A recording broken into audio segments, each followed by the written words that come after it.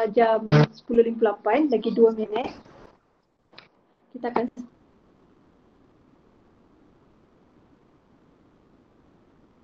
start. So before we start, uh, semua orang baca doa sendiri. Okay.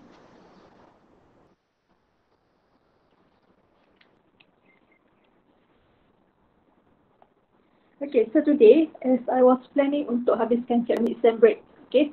So I hope we can finish chapter 5 by this week and we boleh terus masuk chapter 6 juga. Okay, so as last week on Friday, we have learned about self-inductance in 5.3. Okay, so kita dah belajar macam mana uh, satu solenoid boleh menghasilkan induced current melalui diri dia sendiri. Okay, So kalau kita recap sikit, uh, one solenoid yang connected to power supply dan ada variable resistor, dia boleh menghasilkan dia punya induced current sendiri. How? By changing the resistance. So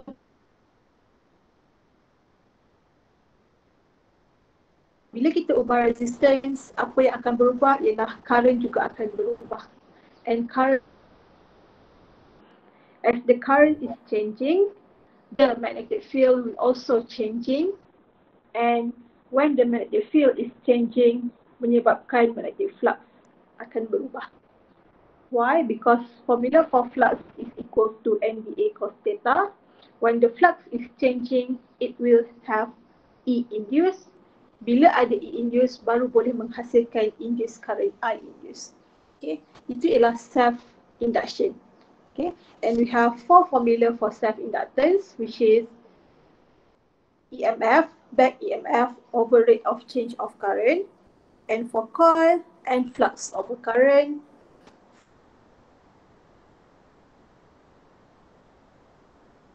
For solenoid, coil mu naught n square A over 2R. So this four equation is given in you punya this off formula. Okay. And as for today, kita akan masuk kepada 5.4 which is energy stored in inductor. So, as we know, inductor ialah device. Uh, dia ialah satu benda alat. Okay. So, fungsi dia ialah untuk store energy in term of magnetic field. Okay, maksudnya dia boleh simpan energy dalam bentuk magnetic field. Itu ialah fungsi inductor. So, we want to know learning outcome, learning objective 5.4a, how to derive and use the energy stored in inductor. Okay, so biasanya kalau kamu punya learning objective, how to use sahaja maksudnya you don't have to derive. Kalau use, formula akan dibagi. But now dia suruh kamu derivekan formula ini. So soalan boleh kata uh, derive the equation for energy stored in inductor.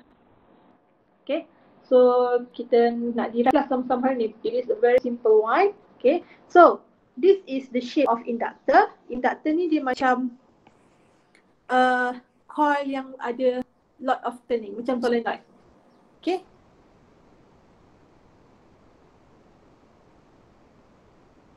So dalam ni fungsi dia ialah okay. So the first function of an inductor Okay, kalau function ni biasanya akan tanya dalam soalan UPS ataupun paper one. Okay, the first one ialah to control current and the second one to store energy in form of magnetic field macam saya kata. Kita pernah belajar kapasitor. Kapasitor store energy juga tetapi bukan dalam bentuk magnetic field. Okay, dia store energy sahaja. Okay, kalau ini store energy in form of magnetic field. Ada dua function of an inductor. Okay. So now kita nak derive one by one. It's a very simple one sahaja. So it said that consider an inductor of inductance L. Sebab sebelum kita dah belajar kalau self-inductance simbolnya ialah L. Suppose that at time T, the current in the inductors is the process of building up to its steady value I at rate Pi over dt. Okay, so macam yang kita dah tahu, from the definition, self-inductance equals to negative EMF di over dt. This is the definition of self-inductance. Okay, and it said here the magnitude Okay, nilai sahaja of the back EMF is given by E L D I over dt. So dekat equation kita ada negatif. So negatif ini dia indicate direction. Okay, tapi sekarang dia kata the magnitude. So that's why disebabkan dia mention magnitude, we ignore the negative sign. So L is equals to E di over dt but we want the EMF. So kalau kita susun balik, our EMF will become EMF is equals to L di over dt. Sampai sini faham?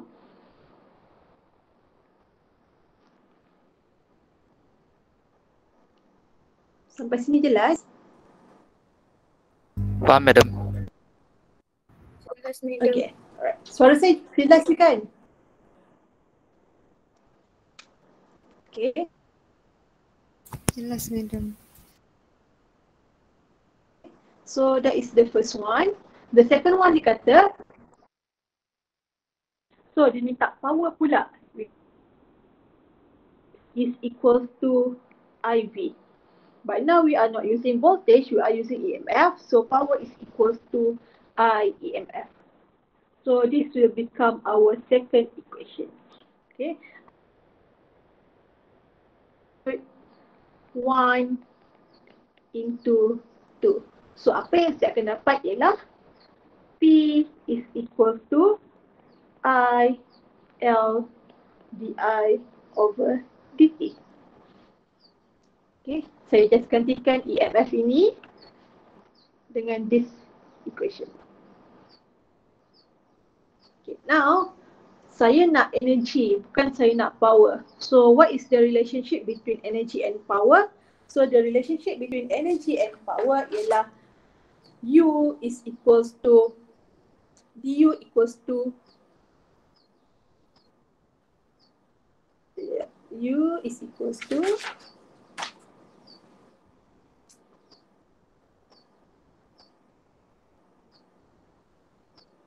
Okay, saya ada kat sini U is equals to PDT. Okay, so I just pindahkan DT dekat sini.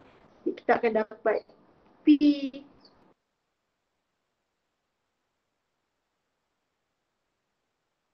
DT equals to I L T ke sini. Okay, tapi DU is equals to P dt. So I just gantikan dekat sini. P dt is equals to du i l di. Okay. Saya nak u, saya bukan nak du. So what should I do ialah saya perlu integratekan dia.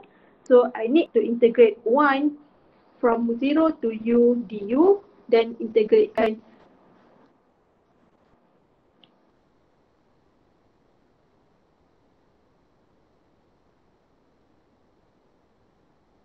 sebab I okay, integrate one in term of D. DI saya akan dapat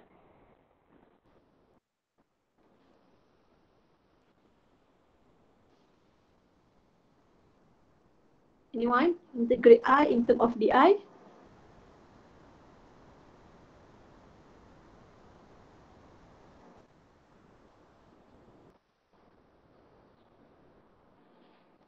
So saya. I square.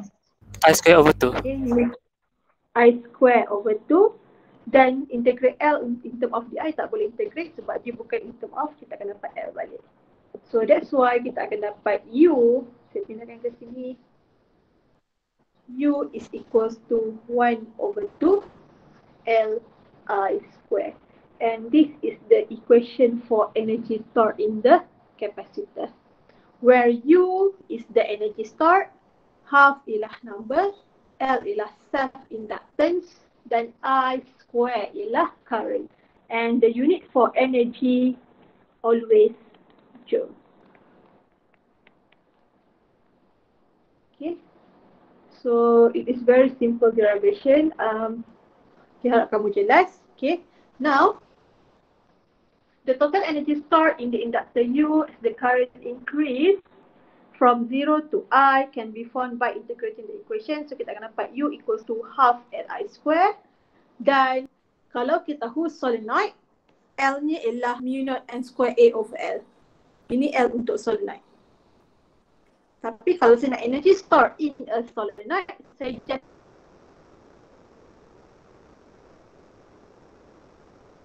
gantikan half Li square ni dengan ini. Saya tahu U is equal to half L dapat mu naught N square A over L times I square. Maka terdapatlah equation yang bawah ini. So, do you need to memorize this equation? No. Do you need to understand how to derive? It is yes. Sebab soalan boleh tanya derivation. Okay. So, itu ialah energy stored in an inductor. Okay, ada soalan tak?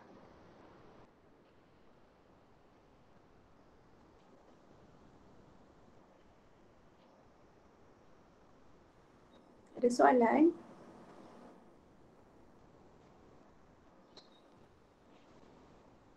Ah, madam. Ada. Okay. So kalau soalan tanya energy stored in a coil.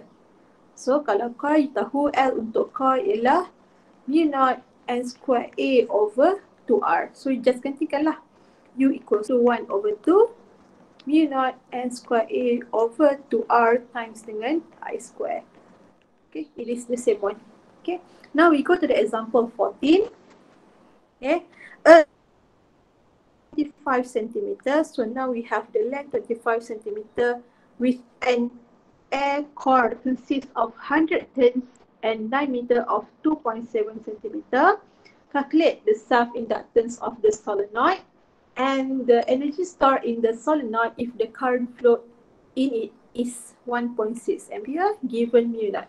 Okay, so we have all the info here. The first one we have the length 25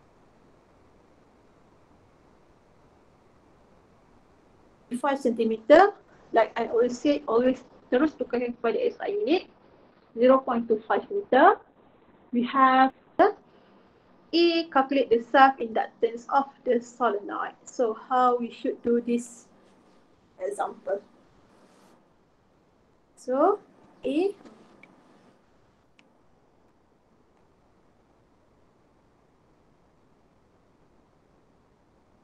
dia minta self inductance sama dengan berapa. Okay, it is a solenoid. So how many equation untuk self inductance of the solenoid? So ada di over dt. Also you can use n flux over i. Also you can use mu naught n square a over l. So which one yang kita boleh gunakan dekat sini?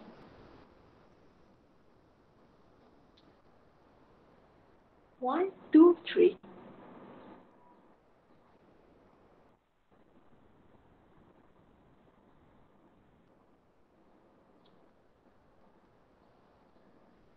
Which one? Three. Three. Okay. Someone said three. Do we have mu naught? Yes, we do have mu naught. And kita ada n. A. Kita ada diameter. So we can find the area. And L are given there. Good. We are using number three. So number three, we have the mu naught 4 pi exponent negative 7. And it's 100 square area. Area, we need to find the area first. So A is equals to pi d square over 4. So can you calculate the area for me?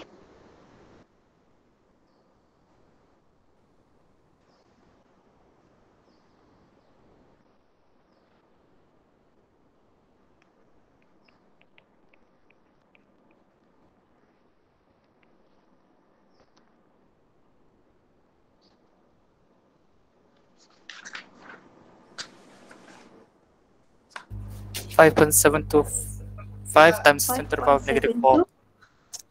Negative 4 meter square. Alright. Okay. So area, satu lagi saya nak bagi tips dekat kamu. Area is not the final answer yet. So if it's not the final answer yet, kita tak boleh bagi two decimal places. We need to give three to four decimal places. Supaya jawapan akhir kamu tak lari. So dia ialah 5.72 0.56.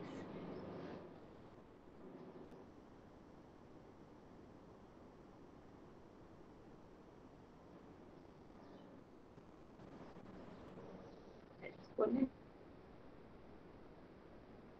is 5.7 length 0.25. So what is the self-inductance? Berapa?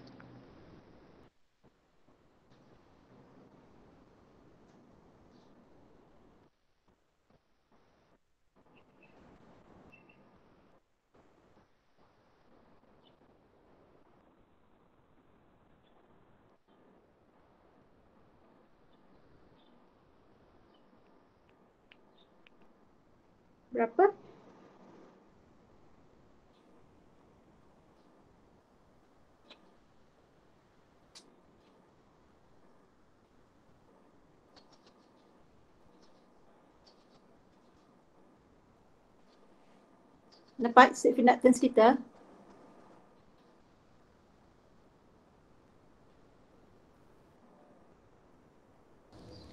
Two point eight eight ta- exponent negative five. Come madam. Negative 5. Unitnya? Henry. Right, good. So this is the value for the self-inductance and stored in the solenoid. So the energy stored in the solenoid given the current is 1.6 U equals to half Li square. So 1 over 2 L kita dah kira tadi. I is 1.6 square. So berapa kita punya energy stored?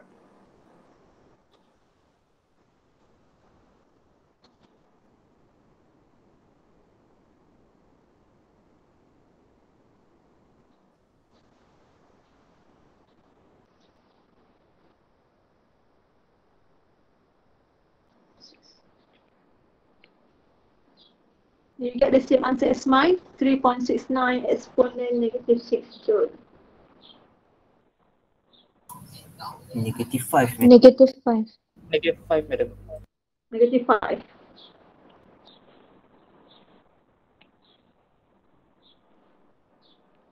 Negative 5 joule. Ni betul? Eh?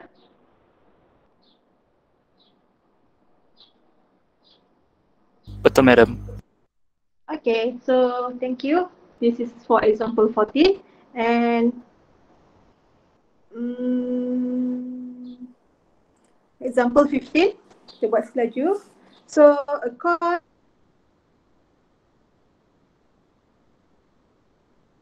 of inductance 350 microhenry carries a current of 1.2 ampere. So we have Henry and we have the current is 1.2 ampere. So the first one it asks us the amount of energy in the in the coil. So straightforward. U is equals to half Li square 1 over 2 350 exponent negative 6 times 1.2 square. Okay, what is the problem? So bila student terlalu rasa soalan tu straightforward, what will happen is mereka akan lupa untuk squarekan the current. So kalau waktu saya jaga exam, benda ni yang macam sakit hati sangat tengok.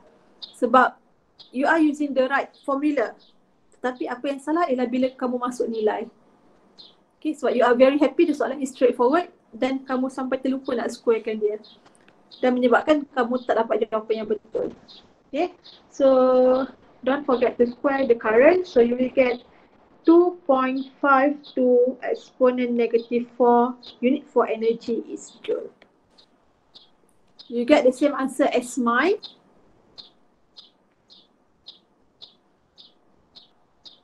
Yes, madam. Yes, good. Okay, and number two, the current in the coil is reduced to zero in 8 meter per second.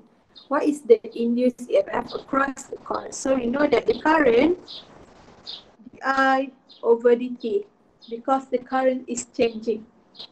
Okay. So the time given is equals to 8 exponent negative 3 second because it is millisecond. Ini bukan velocity. Okay, selalu ada kata, student kata, madam, dia ada tertinggal negative 1 ke dekat atas ni? Sebab dia kata ini mungkin speed ataupun velocity ms negative 1. No, it is a time. Cuma dalam prefix, millisecond. So dia bukanlah velocity, dia adalah time 8 exponent negative 3 second. Okay, soalan minta EMF sama dengan berapa? Okay, so we know that E induced is equals to L di over dt. Negative L di over dt. Okay, so L dah ada which is negative 350 exponent negative 6 di over dt which is I final tolak I initial bahagi dengan time. So I final saya ialah 0. Okay, 0 minus dengan 1.2 divided by 8 exponent negative 3. So what is the E induced yang kita dapat?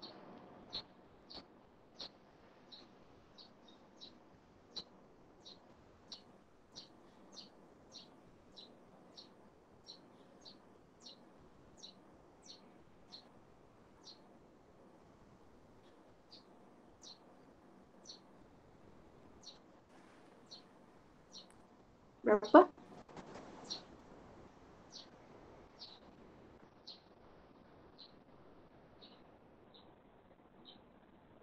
Zero point zero five two five. 0.0525 and the unit is. Okay, or you can give you punya answer dalam exponential which is 52 point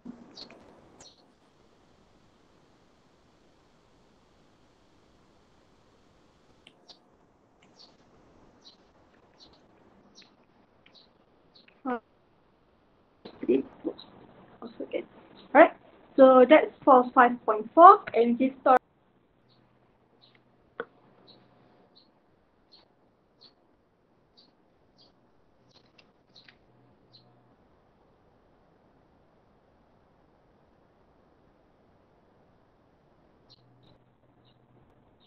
Tiada, madam.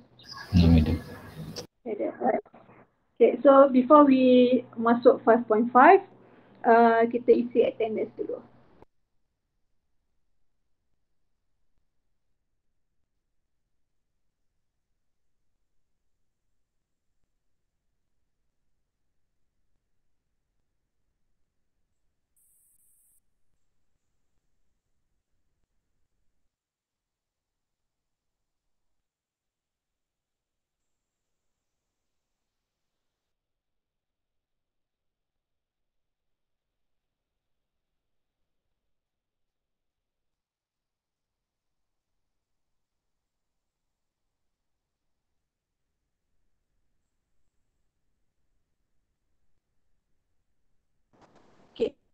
Yang dekat kelas hari ini, saya nak bagi briefing sikit untuk soalan assignment sebelum masuk 5.5.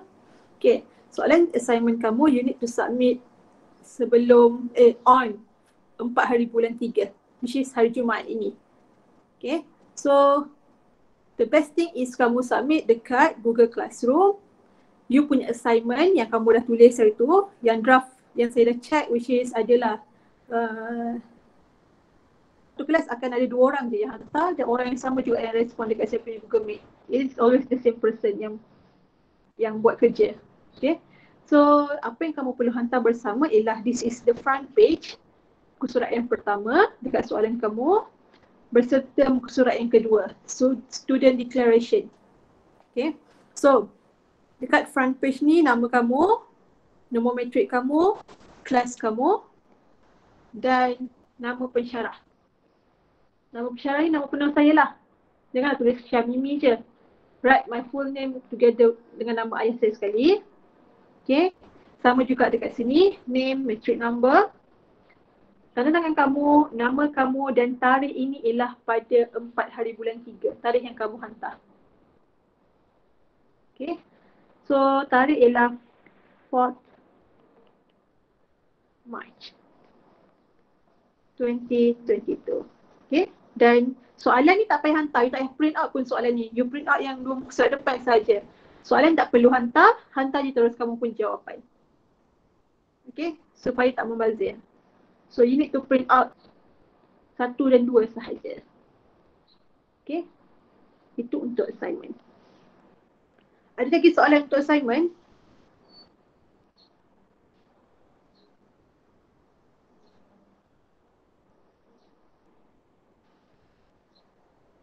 Okay, so kalau tak ada boleh saya proceed dengan 5.5. Boleh, madam. Boleh, madam. Boleh, madam. Okay, thank you for the response. Okay, so 5.5 ialah macam saya mention sebelum ni, kalau kamu faham 5.3 self-inductance, you will have no problem dengan mutual inductance. Okay, mutual inductance ini, okay, so what is mutual inductance? Learning objective 5.5a, you need to define mutual inductance. Learning objective 5.5b, use mutual inductance between two coaxial solenoid. Okay, so dua sahaja, you don't have to derive anything. Okay, so what is mutual inductance? Okay, so in induced EMF, in a circuit is by changing current in another nearby circuit. So itu ialah mutual inductance. EMF induced in a circuit by a changing current in another circuit nearby. So maksudnya ada dua circuit. Circuit kedua ni tak ada power supply. Dia ada galvanometer sahaja. So apa fungsi galvanometer nak baca current? Okay. So dia tak ada power supply tetapi ada current. Macam mana boleh ada current? Sebab ada induced EMF. Macam mana boleh ada induced EMF? Sebab ada perubahan current dekat circuit yang sebelah dia. Okay, so itu ialah mutual inductance. Okay, so according to Faraday's law, EMF is induced in loop 2 to oppose the changes. The induced current in loop that caused by the change of current in neighboring loop we call as mutual inductance or in Malay aruhan saling.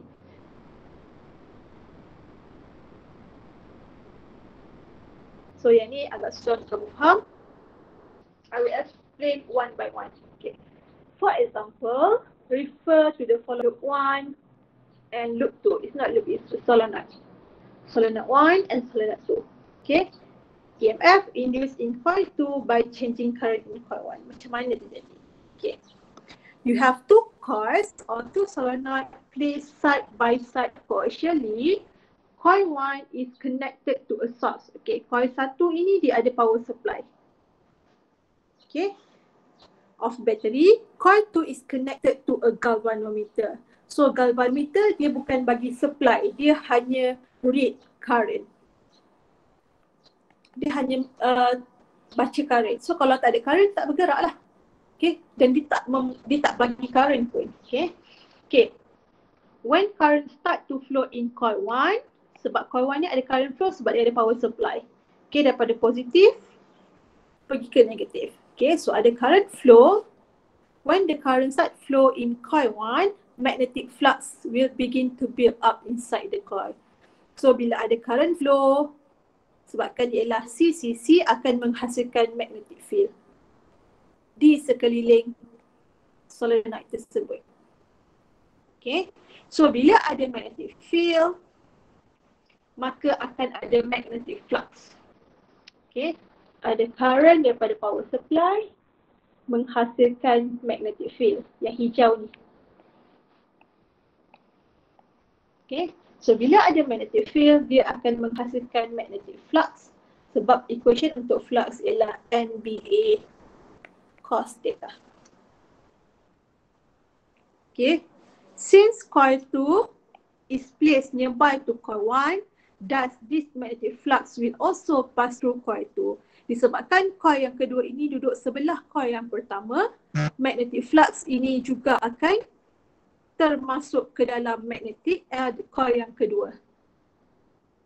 Okay. Okay. So, disebabkan duduk sebelah, magnetic flux will also pass through coil 2. Menyebabkan coil 2 juga akan ada magnetic flux. Sebab dia juga ada NBA cos theta. Okay. If the current in coil 1 is changed with the time, magnetic flux through coil 2 will change with time too. according to Faraday's law, coil 2 will experience an induced EMF. The production of induced EMF in coil 2 caused by a change in current in a neighboring coil is known as mutual inductance. Ha, faham ke tidak?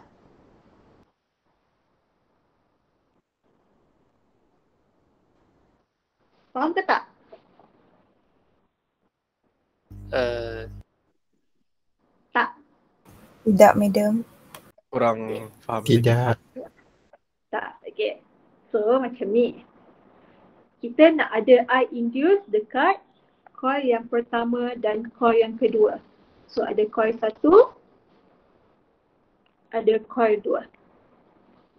Tapi coil satu dia boleh ada current sebab dia ada bateri. Coil yang kedua takkan ada current sebab dia hanya ada galvanometer. Tapi macam mana saya nak hasilkan current juga dalam coil yang kedua. Okay. So coil yang pertama macam self inductance bila dia ada bateri positif, negatif akan ada current flow. From positive terminal of the battery pergi ke negative terminal of the battery. So akan ada current flow disebabkan oleh bateri. Tapi itu bukan induced current. Okay, so bila ada current flow akan menghasilkan magnetic field sebab current lalu dekat solenoid. So dekat sekeliling solenoid ini akan ada magnetic field. Faham?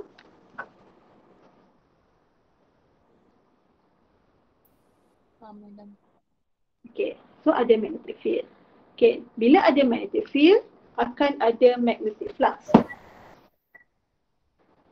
Okay, sebab flux is equal to N B A cos theta. Okay, tapi belum ada I induce lagi. Okay, so dekat yang pertama, dia ada flux. So ini ialah flux yang pertama, N pertama, B pertama, A pertama. Okay, dekat yang kedua ni, yang kedua, dia tak ada current sebab dia tak ada bateri. Tapi adakah dia akan ada B?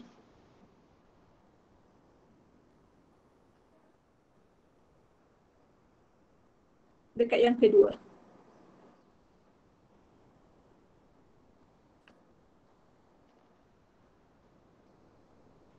Ada, madam.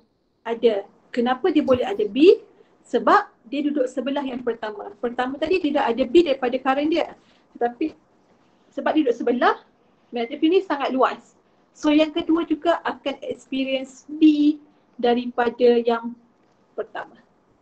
Okay. Dan bila dia ada B, dia akan ada flux yang kedua which is N yang kedua, B yang pertama, area yang kedua, cos theta.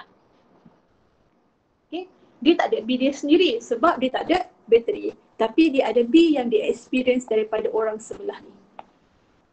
Okay. So faham? Faham, madam. madam. Okay, dekat sini ah, madam. kita punya galvanometer ni dah deflect ataupun belum?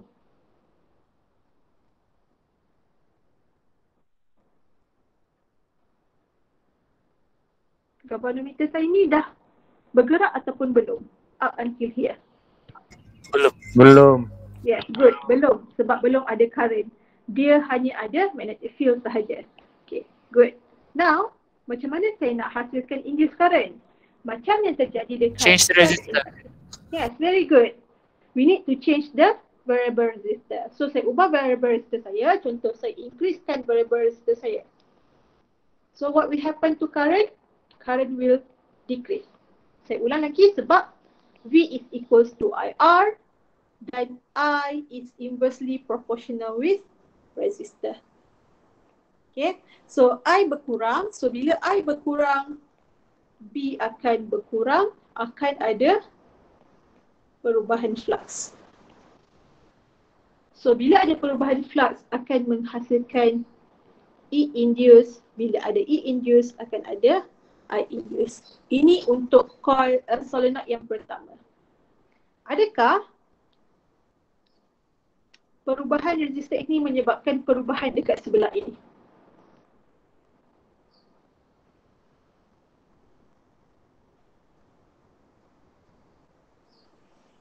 Yes or no?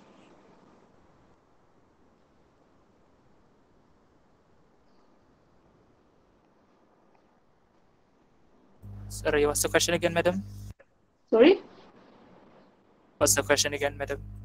Adakah perubahan resistor dekat solenoid yang pertama menyebabkan perubahan dekat solenoid yang kedua? Yes, madam. Yes, sebab yang kedua, yes very good. It is yes sebab B yang kedua ini, B dekat yang solenoid kedua, dia ialah B daripada yang pertama. So bila R dekat sini berkurang, I dekat sini berkurang. So B yang masuk ke dalam yang kedua ni juga akan berkurang. So bila yang B satu yang masuk dekat dalam solenoid kedua ini berkurang, akan ada perubahan flux. So bila ada perubahan flux akan menghasilkan E induce yang kedua dan akan menghasilkan I induce yang kedua. Okay, so bila ada I induce, waktu ni barulah kita punya galvanometer akan bergerak. Sebab dah ada induced current. Okay, induced current dekat kedua ni disebabkan oleh perubahan dekat yang pertama. Bukan perubahan dekat diri dia sendiri. So this process we call as a mutual inductance. Boleh faham? Faham, madam. Boleh, madam. Yes, so kalau kamu faham, okay. So solenoid pertama, dia experience dua inductance. Dia experience self-inductance dan dia juga experience mutual inductance. Solenoid yang kedua, dia hanya experience mutual inductance daripada solenoid yang pertama. So itu ialah konsep mutual inductance. Faham? Faham, madam. Faham. Okay, good. Okay, now dia punya uh, explanation. In mutual inductance, induced in one coil is proportional to the rate at which the current in other coil is changing. Maksudnya, E induced equals to DI over DT. E induced berapa? E induced yang kedua. Okay, yang kedua tu dia terhasil disebabkan oleh perubahan dekat yang pertama. If we assume that the current in coil 1 change at a rate of DI1 over DT1, the magnetic flux will change by the flux over dt. And this change is experienced by coil 2. So, uh, this one ialah apa yang saya explain tadi. Coil 2 experience mutual disebabkan experience uh, I induced disebabkan oleh solenoid yang pertama. Okay. So the induced MF in coil 2 equationnya ialah E2 negative M I2 DI1 over DT. Kenapa I1?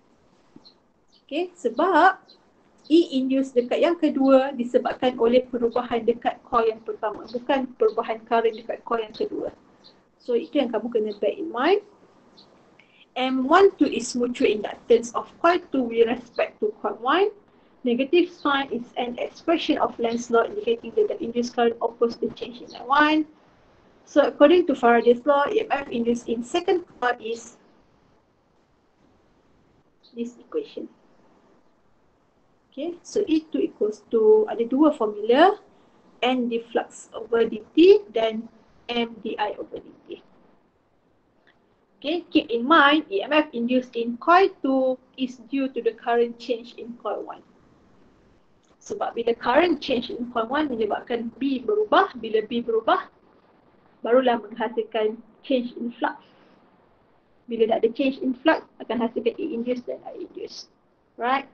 The same thing juga combining these two equation, you don't have to know the um, derivation and you only need to know the equation M12 is equals to N2 flux to I1. Tengok ni, apa yang berbeza ialah current je.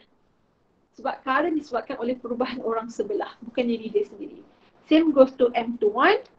So M21, 1, 1 ini 2. Sebab current 2 yang berubah, bukan current 1. Okay. For a given pair of coils, the value of mutual inductance is same and does not depends on which coil carries the current and which coil experience the induction. Macam saya kata tadi, kamu ada dua coil. Coil satu dan coil dua. Dua-dua coil experience mutual inductance. So nilai M12 dan M21 nilai dia sama. So you don't have to worry kalau kamu dah kira satu dekat sini, M dia berapa? So nilai M yang dekat dua ni pun juga sama. Okay. So disebabkan mutual inductance dia ialah inductance, unitnya ialah Henry. Kalau self inductance simbolnya ialah L. Kalau mutual inductance simbolnya ialah M. Dan kedua-dua ni unitnya ialah Henry.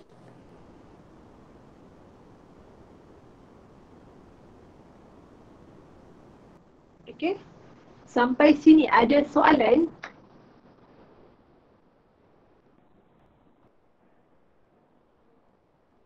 Ada soalan? Line saya putus ke? Ada soalan ke? Tiada, madam. Alright. So sikit lagi. And you have to know how to use mutual inductance for two coaxial solenoids. Okay. So what is mean by coaxial? Dia ialah yang bertindih, berlilit. You have two wire yang dia lilit antara satu sama lain. Dia bukan duduk sebelah. So ini juga you have to know kalau soalan mention two coaxial solenoids, you ada wire yang pertama dengan wire yang kedua. Okay, the equation will become M12 is equals to mu naught and 1 and 2 A over L. Okay, and this equation is given in the list of formula. Alright. Okay, so this one you don't have to worry. N1 ialah primary, N2 ialah secondary. So biasa primary ini wire yang dia connect to power supply. Secondary ini ialah wire yang uh, ada galvanometer. Okay. And we go to example, the last example, example 16. Okay, the primary coil of a solenoid of radius 2 cm has 500 turns and length of 24 cm. If the secondary coil with 80 turns surrounds the primary coil at its center, calculate the mutual inductance of the coils B. The magnitude of induced EMF in secondary coil if the current in primary coil change at the rate of 4.8 ampere per second. Okay, so kalau example 16 ni, adakah kita punya wire duduk bersebelahan ataupun coaxial?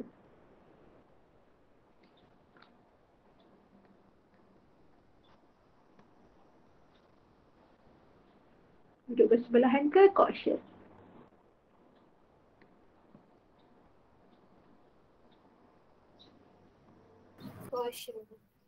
Caution. So, where is the keyword yang dia caution? Secondary. You ada primary, secondary and dia kata the primary coil at its center. Okay. Maksudnya dia kata the secondary coil surrounds the primary coil at the center. Maksudnya dia bertindih. Okay, so dia ialah caution. Alright, so we have the info, we have the primary coil R ialah 0.02 meter, R1, N1, and we have L1. Okay, and we have N2 is 8 meters. So find the mutual inductance disebabkan dia coaxial. The equation is M equals to mu naught N1 and 2a over L. Okay, so we have mu naught 4 pi exponent negative 7 and 1 is 500 and 2 is 80 area. I don't have area here. So area we are calculating by using pi r square because dia bagi radius. So pi r is 0.02 square. So can you calculate the area for me?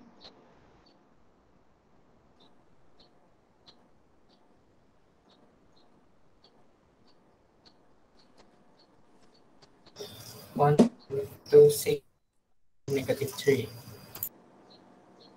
Sorry. Tak dengar.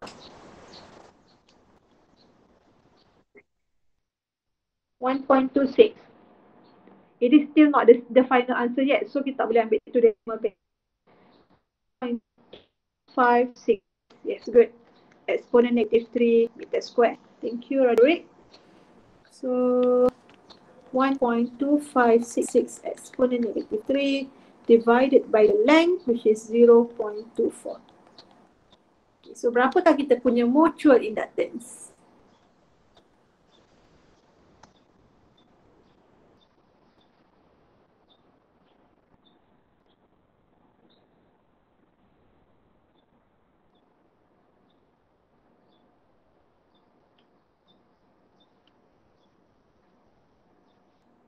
Dapat? 2.63 exponent negative 4. 2.63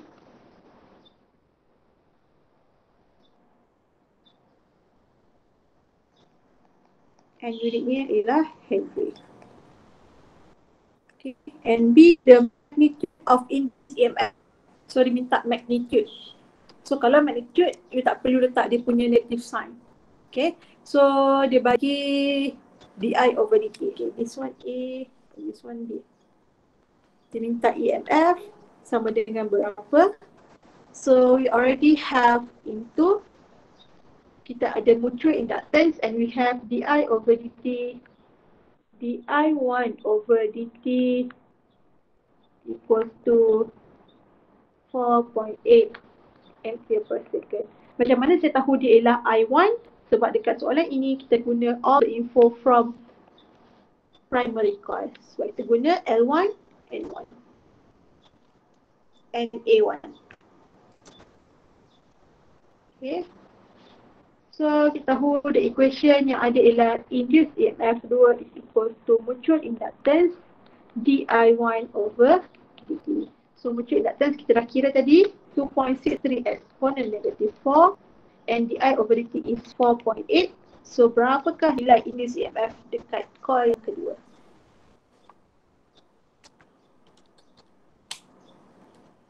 One point two six exponent negative three. Okay, 1.26 exponent negative 3 unit for EMF ialah 2. Right? And dia minta magnitude sahaja so you don't have to give the direction. Dan dia memang tak direction. Maksud magnitude tadi sebab ni ada negatif sepatutnya dekat sini. Dekat sini sepatutnya ada negatif. Sorry. Tapi sebabkan dia minta magnitude, we ignore the negative one. Negative sign dekat sini.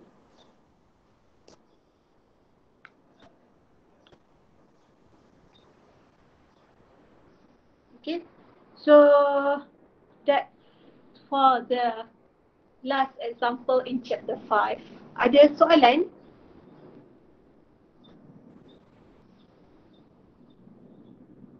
Tiada madam. Ada. So jelas chapter 5.